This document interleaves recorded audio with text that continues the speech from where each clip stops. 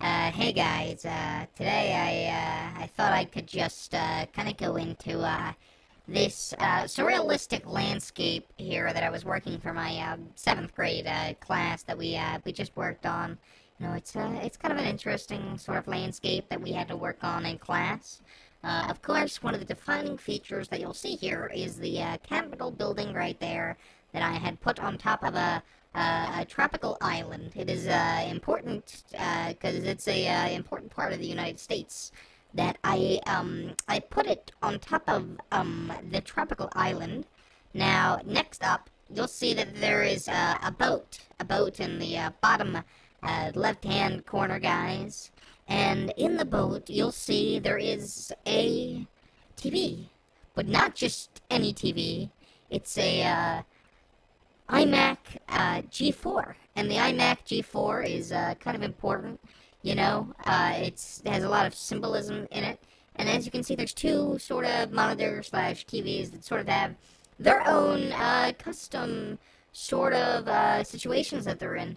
Uh, the both you'll see Infowars. Uh, Infowars is on the G4 because I I tend to think as Infowars is a much more uh, reliable news source. You know, hashtag PizzaGate if you know what I'm talking about.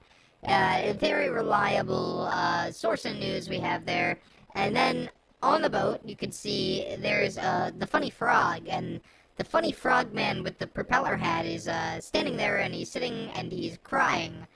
next up, you'll see, uh, so InfoWars is on the boat, but CNN does not have a boat. It's kind of sinking in the water, and that's not me uh, showing my political opinion or anything, but that's just me trying to make a sort of statement. And I had a lot of comments from people from my class saying that, you know, uh, it's important it's important that you have your political opinion, and it's important that you have that there, but it has sort of a deeper message, like a deeper meaning to it, if you'll understand what I'm talking about.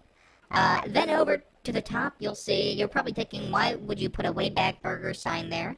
Well, listen, I put a Wayback Burger sign there because uh, there's a lot of Wayback Burgers uh, sort of everywhere now. Now, everywhere you drive, they're kind of adding uh, a new Wayback burger, if you know what I mean. Like, there's a lot of uh, burger to that Wayback Burger sort of machine there.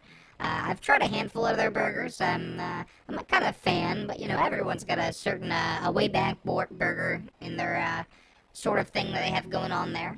Uh, then right underneath it, now you're probably thinking, what is this cow?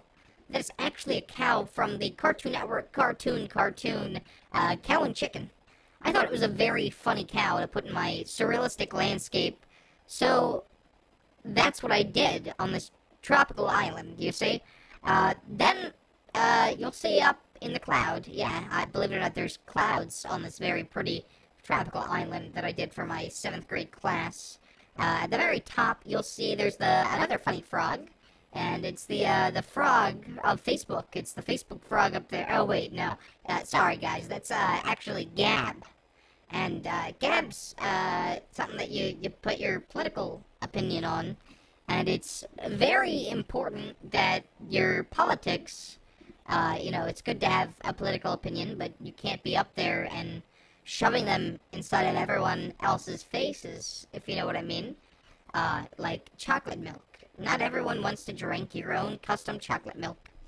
And all the way at the top, you'll see, uh, oh, wait, sorry guys, it looks like it's the end of the video, so I'm gonna have to cut you off. Uh, thank you guys so much for listening to my video of my surrealistic landscape, and have a good day with, uh, a lot of, uh, good luck. You know, you're, you're gonna need it. You're gonna need that good luck.